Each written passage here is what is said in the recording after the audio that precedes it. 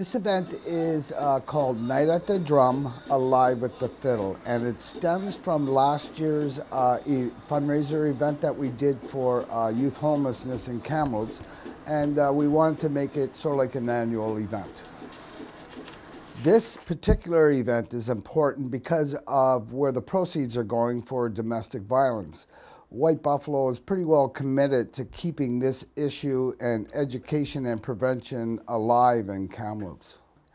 Culturally speaking, we have lost a lot, particularly uh, the value of the life giver, where um, the Western thinking has uh, implanted uh, women are very low status in our community and society, and culturally that is not so. Actually, they are pretty well top of the hierarchy the fundraiser is important uh, uh, because of uh, the issue of domestic violence and uh, to bring awareness and prevention to that. The event itself, there'll be about 50 performers uh, from all over the province and actually from Alberta are coming in. We have a, uh, a world champion fiddler. we have Nathan Cunningham, who's a Juno Award nominee. Uh, we have the old time fiddlers in Kamloops coming. Uh, Farah Palmer from uh, Vancouver is coming down, uh, and lots of jigging will be there.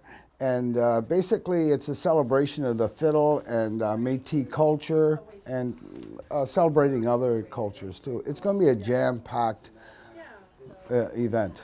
Some of the performers are from Kamloops, and we're promoting the artistic um, fiddle and performers that we have in Kamloops and, and promoting them.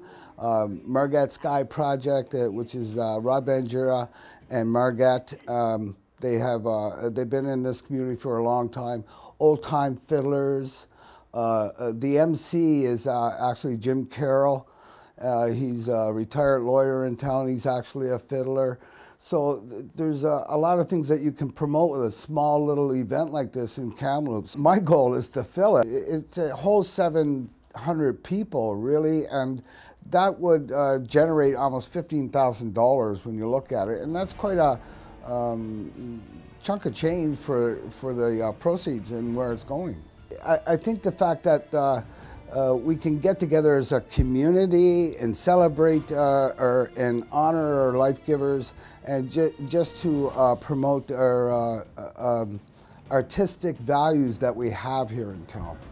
So uh, the proceeds are going to go to domestic violence prevention and capacity building in the urban and rural communities in the interior of BC we we hope that uh, people will honor their mothers and, and bring them to the show. And that's a good way to gift them to sit there and give them two hour two and a half hours of entertainment. It is actually on mother's day on may 8th at sagebrush theater. It'll start at 7 and end about 9.30